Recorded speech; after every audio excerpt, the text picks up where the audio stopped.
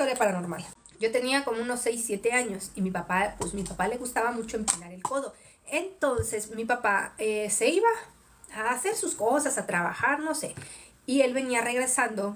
Nosotros cabe aclarar que vivíamos en un, en un rancho, o sea, no en un rancho que hay dinero, vacas, todo, no, no, en un, en un, en el monte, en medio de la nada. Teníamos una casita de madera así con este lámina de cartón y ahí vivíamos nosotros. Mi papá se iba a trabajar y él regresaba como a las 10, 12 de la noche. Pero como nosotros vivíamos en el monte, en medio de la nada, obviamente no había luz. No había ningún tipo de servicio, nada, nada, no había luz, no había agua, nada. Y entonces nosotros estábamos a oscuras. Del último pueblo, de, del último pueblo a la casa donde nosotros vivíamos, nos hacíamos como unos, una media hora, 40 minutos, hasta una hora, depende de qué tan rápido camines. Entonces mi papá se iba a echar sus, sus alipuses al, pueblo y terminaba de trabajar y se daba su, su gustito por allá. Antes de llegar a la casa, como a mitad del trayecto del, del pueblo a la casa, como a mitad del trayecto, a mitad de la caminata, había unos potreros donde había vacas. Eran unos potreros como inclinados. En la parte de arriba, hasta arriba, había como una parte plana, que era como un mesón, o no sé cómo le decían así, era una parte plana. Y en esa parte plana, así por la parte de atrás, había como unas cuevas, o sea, como unas cuevas que las personas las habían hecho, habían excavado, excavado, y de tanto excavar se habían hecho como unas cuevas, como unos hoyos grandes, unas cuevas. Entonces en esos en esos hoyos, en esas cuevas, dicen que ahí había, había money money. Dicen. Entonces, para uno poder llegar a la casa donde nosotros vivíamos, teníamos que atravesar el potrero. Así en el potrero había un, este, pues como una carreterita, porque luego los señores del potrero, este, pues metían sus camionetas o sus carros para ordeñar o para sacar el ganado. Entonces había como una carreterita improvisada, pues no era una carretera, carretera, como, como improvisada. Entonces, a la hora que mi papá iba pasando por la mitad del potrero, dice él, porque yo nunca lo vi, solo son las historias que mi papá cuenta, que se le aparecía el, la persona que ya se había ido al más allá, se le aparecía y entonces le decía, dice mi papá que la persona esta le decía, oye, este, te voy a dar el, el billullo que está en esas cuevas, en esos hoyos, y este, tú me vas a dar algo, lo que más quieras. Dice, dice mi papá, que lo que el, el, desvivido quería, me quería a mí. Yo era la hija más chica de, de, tres hijos que tenía mi papá con mi mamá. Yo era la hija más chica. Dice mi papá que, pues, o sea, que el, que el desvivido le decía a mi papá que él quería lo que más, lo que más quería mi papá. Y según mi papá, lo que más quería era yo, que yo era pues la hija más chiquita. Entonces, no sé, después mi papá no demostró quererme mucho, pero en ese tiempo él decía que me quería mucho a mí. Entonces, el desvivido le empezaba a insistir, a insistir a mi papá que, pues que, hicieran trato, ¿no? Que intercambiaran. Mi papá le iba a dar a mí, ay, qué bello, y el desvivido le iba a dar las ollas de oro que había en esas, en esas cuevas. Entonces mi papá le decía que no y a mi papá le daba miedo. Mi papá venía, mire, con sus cubitas que se había echado, hasta las cubitas se le bajaban. De ahí del potrero hasta donde vivíamos nosotros, pues todo estaba oscuro, obviamente. La única luz que había era la de la luna, porque todo era monte, de noche, 10, 12 de la noche. Entonces mi papá de ahí del potrero se iba casi este, zurrándose hasta la casa, que eran como unos 20 minutos de ahí a la casa. Llegaba a la casa, antes de llegar a la casa había unas fincas de café. Entonces, a donde nosotros vivíamos era como un terreno grande, pero había este, sembrábamos papa, frijol, maíz y teníamos unas cuantas matas de café y para arriba eran fincas. Entonces, cuando mi papá llegaba allá arriba, a las fincas de arriba, él empezaba a gritar a mi mamá, oye, que ven por mí. Mi mamá a esa hora, a las 12 de la noche, se tenía que levantar e irse a buscar a mi papá hasta allá a las fincas porque dice mi papá que el desvivido no lo dejaba, no lo dejaba este regresar o, llegar a su casa. O sea que entonces tenía que ir mi mamá y ya le ayudaba a llegar a la casa. Y siempre que mi papá se echaba sus, sus por allá, siempre llegaba a la casa este, y gritaba. A las 12 de la noche, nosotros estábamos durmiendo y mi papá gritaba, le gritaba a mi mamá para que le fuera a ayudar a llevarlo a la casa porque él tenía miedo. Mi papá tenía miedo, mi papá que es un hombre de esos bien, este, hombre así de esos de antes, se le hacía este, de miedo, porque dice que el desvivido, pues, no lo dejaba, no lo dejaba.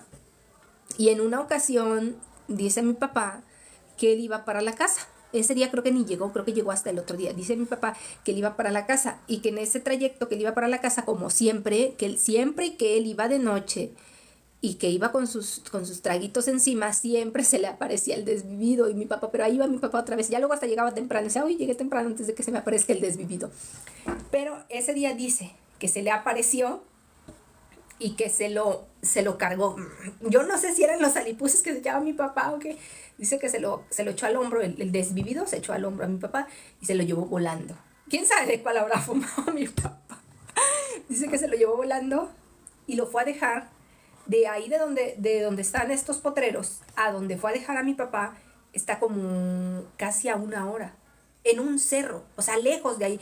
O sea, pasaron todos los potreros, el pueblo, pasaron el pueblo se fueron al otro extremo de la montaña, era como una, como una montaña grande, y era así la montaña, se va haciendo acá en el pico de la montaña, hasta arriba, en una roca que había, allá lo fue a montar arriba de la roca. Y entonces dice mi papá que cuando él despertó estaba así pescado de la roca, este, porque dice que allá lo había llevado el desvivido. Y allá estaba. Pero dice él que, pues, que el desvivido, pues, que, que quería hacer intercambio. Entonces mi papá de ahí, de la roca, pues se tuvo que bajar, bajar, o sea, para no caerse, ya, ya, ya se le había bajado el, el chupe y regresar a la casa. Ese día no regresó porque dice que el desvido lo llevó hasta allá. Yo no sé si es cierto, eso solo eran anécdotas de mi papá. Pero, pero dice mi papá, mi papá tenía otra anécdota. Que cuando él era joven, o sea, muy joven, antes de que él se casara, él vivía en un rancho, en otro rancho en, o sea, aquí mismo en Veracruz, pero en otro rancho, en otro lugar. Entonces, no en donde nosotros crecimos, pues. Dice que ahí eran como potreros. Él, tenía su casa, la casa de mi abuelito, estaba la casa de mi abuelito, y todo así enfrente había potreros. Y para allá hacia lo lejos eran como puros potreros. Los potreros son donde están las vacas y los caballos y así los animales. Y dicen que había un señor que tenía un par de vacas, tenía así como un, un jacalito así chiquito donde tenía sus vaquitas y ordeñaba.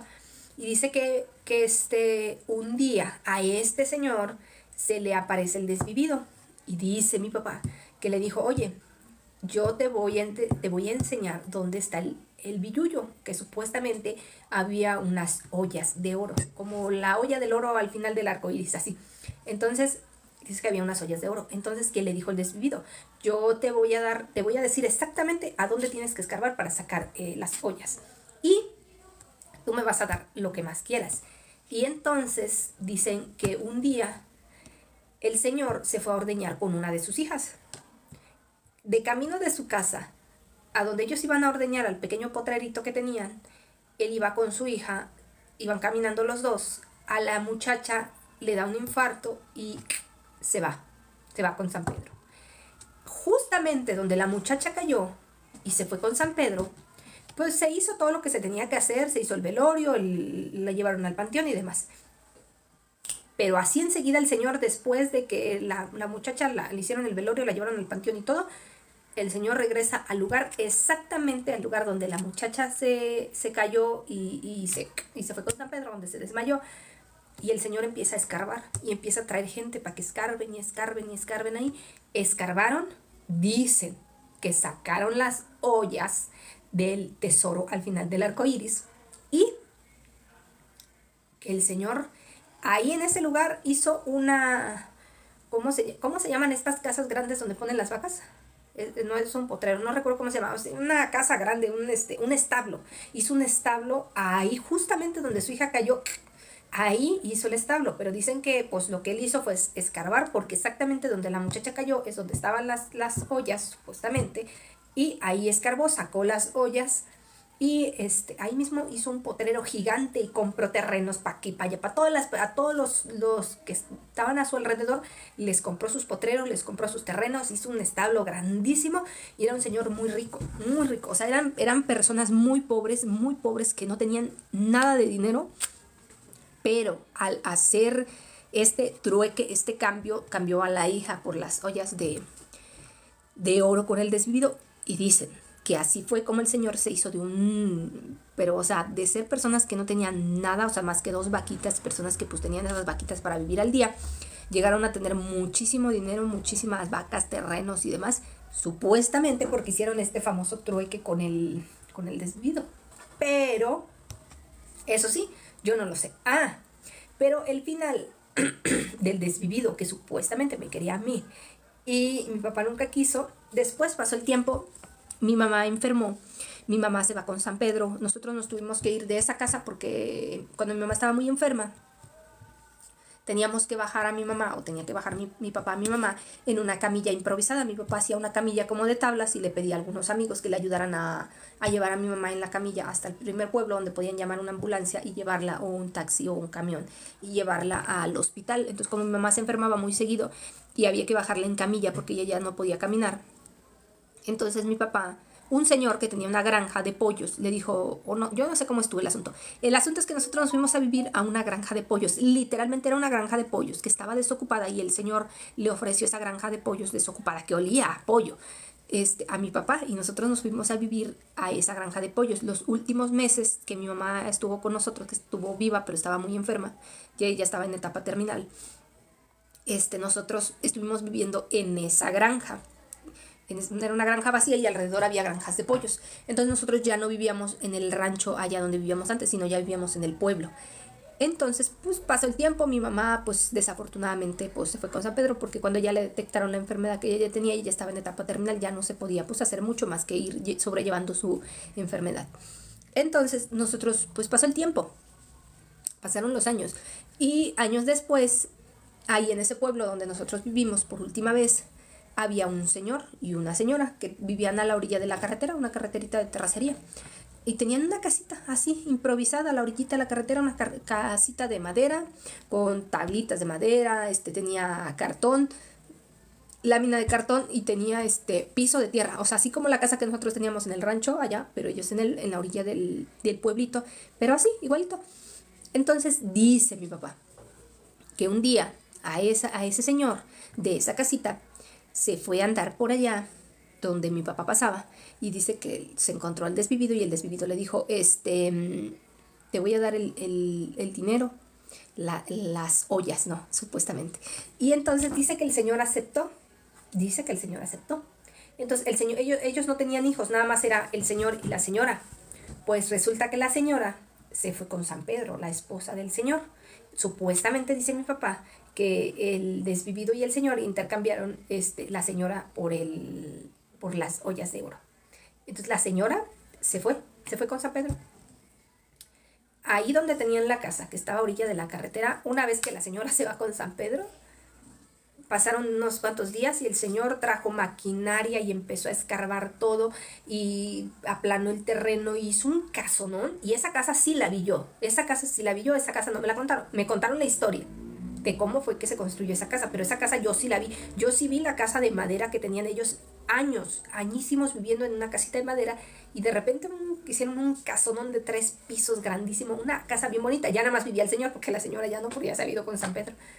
Entonces, yo no sé si estas historias sean reales o no. La casa real yo sí la vi. Yo sí vi la casita donde ellos vivieron mucho tiempo, que era una casita de madera bien sencillita, así como la que nosotros, en la que yo crecí, que era una casita de madera bien humilde, que se le goteaba agua por todos lados.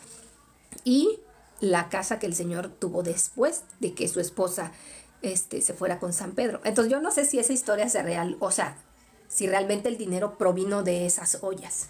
Pero se los juro que esos terrenos y esos lugares donde estaban esas cuevas, muchísima gente de muchos lugares iba a esas cuevas, esos terrenos, porque se decía que ahí había un tesoro y iban a, sacar ese tesoro.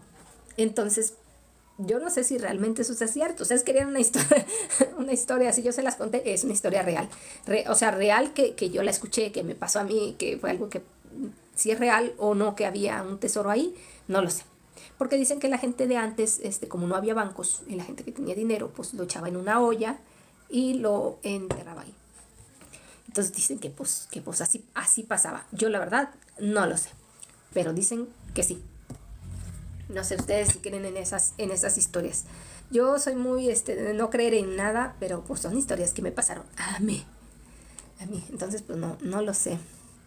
Pues, esas historias, yo no sé si son reales, la verdad no lo sé. Pero pues eso es lo que, lo que este, ¿cómo se dice? Las historias que, que cuentan. Yo soy muy de, no creer, no creo en muchas cosas. Yo no creo en muchas cosas. Pero pues son historias que no, que ahora sí que nos pasaron a a nosotros. Y yo la cuento porque me pasó a mí. Pero no sé, la verdad, yo no sé si sea real esto. O sea, no. Mm, no sé si eso de las, de las ollas y de los tesoros sean reales.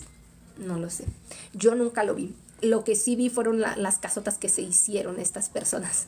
No sé, lo que sí es que bueno, qué bueno que si eso era real, qué bueno que mi papá, o sea, que no, no me quiso mucho mi papá, pero pues no me intercambió con el, con el desvivido y ya, y ya con eso me doy por, por bien servida, que no me haya cambiado con el desvivido.